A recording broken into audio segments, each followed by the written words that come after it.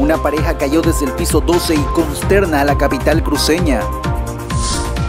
Bolivia reporta 38 feminicidios en lo que va del año. Los últimos tres ocurrieron este fin de semana.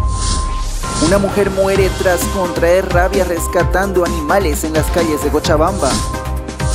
La CRE cortará el servicio a 150 mil usuarios por deudas anteriores a marzo de 2020. El gobierno plantea un incremento del 0,67% solo para el salario mínimo nacional del 2021. Y los carniceros levantan el paro. Desde mañana se normaliza la venta de carne. Noticias en línea es auspiciado por No es solo postres, pedacitos sweet and salty.